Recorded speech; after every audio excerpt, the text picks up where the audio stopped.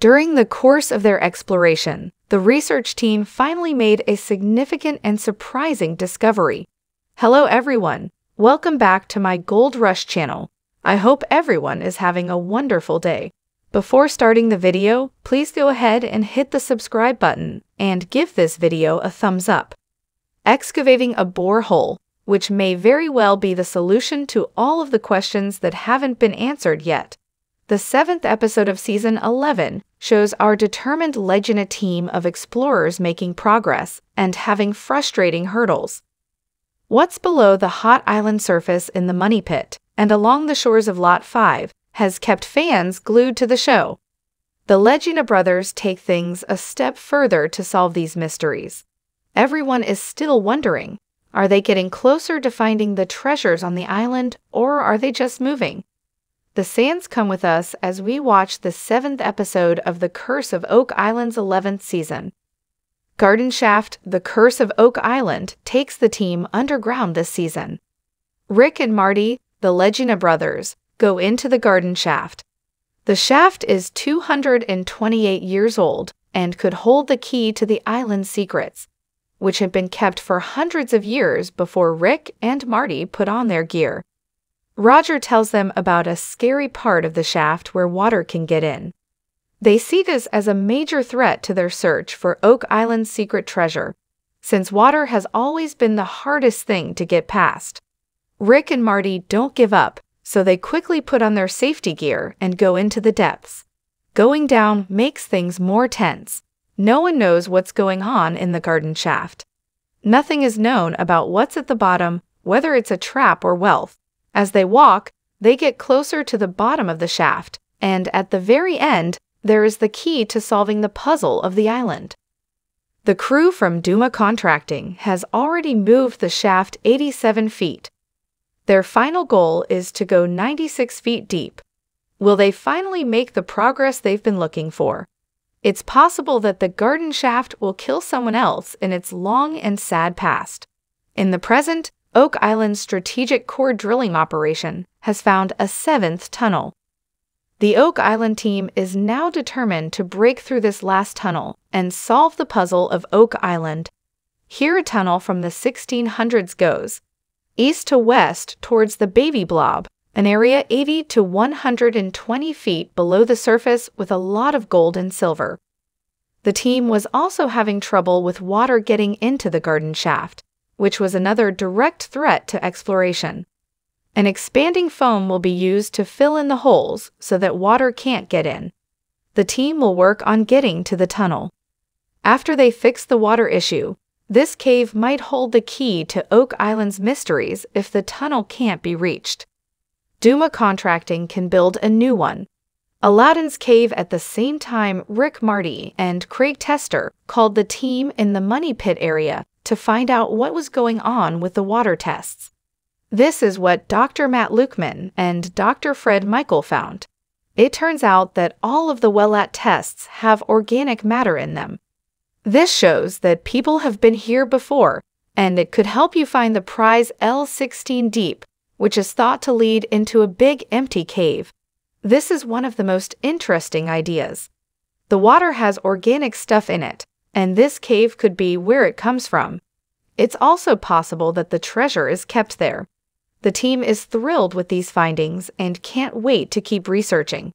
They think they're about to figure out Oak Island's mystery. Rick, Marty, Craig, and the rest of the team are quickly following another hint in the Money Pit area. They have found the mysterious Aladdin's Cave, a 150 foot deep limestone. Cave sonar and camera pictures suggest that it may be a built structure, and tests of the water revealed levels of gold and organic materials, like wood, that had never been seen before, showing that people have been there.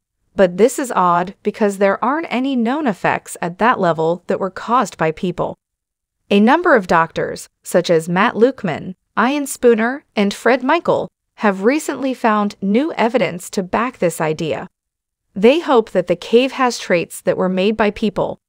Rick understands what it means if things are up in that cave away from people. It has a huge meaning. It doesn't make any sense at all. Aside from the base, there shouldn't be any living things there, but there is wood. There must be something, since these three tools all point to it. They think that more research needs to be done. They plan to drill a new hole near the bottom of the hole, where they have the most height, and send a second camera down. This could be a clue about where the opening or tunnel to a cave is. Finding organic matter in Aladdin's cave changes everything. It suggests that people have been there and that there may be wealth waiting to be found. Aladdin's cave is a huge, an interesting hole in the rock that is full of possibilities. It's a great option for tunneling because the clay beds are very close together, and the presence of organic matter like wood shows that people have been there. This strongly points to an object that was made artificially, and the puzzle grows. Borehole Hole Col 114.5 and Lot 5 Terry Matt, a famous Oak Island scholar and geologist, keeps an eye on hole Col 114.5 near hole 16. They want to find the cave and use a camera to look down to see if there is a way to feel the excitement people are still drilling in borehole Col 114.5 and they can only hope that they will reach the cave and find a way in on a different front Carmen Legge. A metal expert looks at things that were dug up near Lot 5's. Shore subsurface magnetometry data clearly shows that there is some kind of hidden feature beneath three metal objects found nearby that suggests a connection with Sir William Phips, a politician and privateer from the 1600s. A spike that was made by hand was possibly a stupper nail used in shipbuilding its flat head, and the fact that it was found in the early 1600s and early 1700s leads to some interesting theories. Is it a piece of a shipwreck? The metal and wood have been taken out to be used again. The chlorine in the nail makes the saltwater link even stronger, which is lucky for us. Sir William Phips was in Nova Scotia in the 1600s so he fits the time frame. He is also connected to the Conception, a Spanish galleon carrying a wealth chest that sank off the coast of the Dominican Republic, which makes it even harder to find him. Most importantly, the English crown only got a small part of the Conio wealth. What will happen to the rest of them is still a mystery. Are these things proof that Sir William Phips got on Oak Island with the lost Conio treasure? It's interesting to think about the potential as more information comes out from Aladdin's cave and Lot 5. The mystery on Oak Island grows. Drilling in borehole Cale 14.5 hits the mysterious cave at a depth of 142.5 feet in the Money Pit area. This makes a hole that is more than 3 meters high. This is great news because geologists Terry Matten and Moya McDonald think the cave is a geological mystery that may have been made by people. A high definition camera used for more research shows what looks like a square headed bolt on the floor. It may have been made by a man. This makes it possible for people to be inside the cavern, which has led to rumors that it might be linked to the island's famous treasure, even though the evidence is still not clear. Oak Island historian Charles Barkhouse stresses how important it is to do more research. We are hoping that there is some evidence that humans ever were in the cave and that the sonar can get into it and map out the subsoil of the cave as part of their work. Jack Begley and his archaeology team dig into the mysterious stone building on Lot 5. The dig got bigger, and they saw that the scale was even bigger than they thought. In addition, they find things like pipe roots and nails, Based on this find, the building was built before the money pit and may have been a log house. No one knows for sure what it was used for, but the team thinks that a more organized historical dig will help them figure it out. They hope that soon they can figure out where it came from.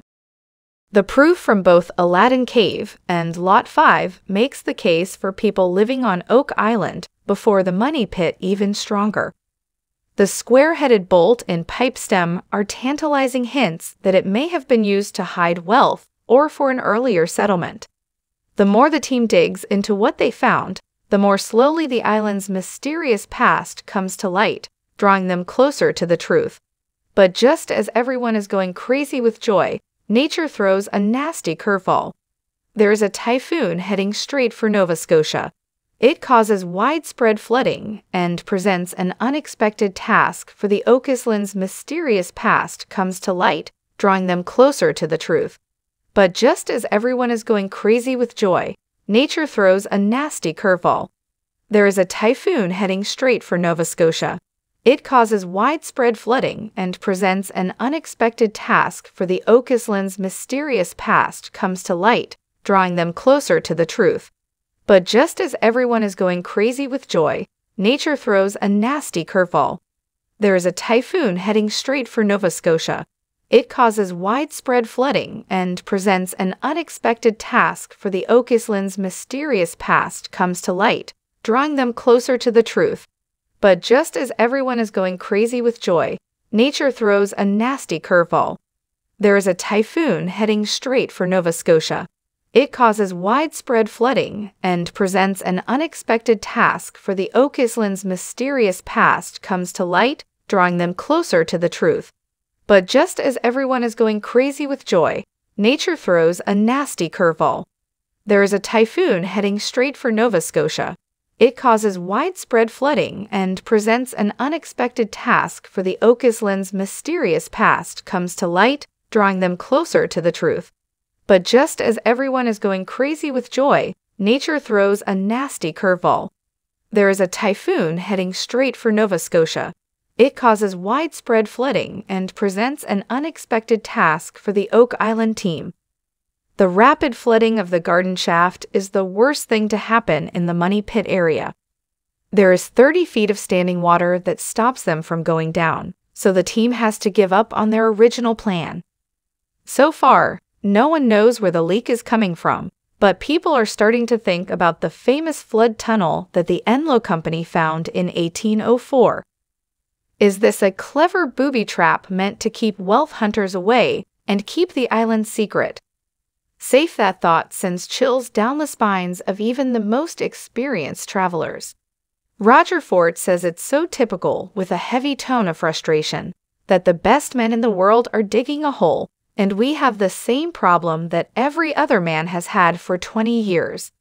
This hurts, and it adds another twist to the Oak Island puzzle that was already very complicated. Read what other people have said about what they think this season of Oak Island will be like below. Don't forget to like this movie and follow the channel to see more. Have a nice day.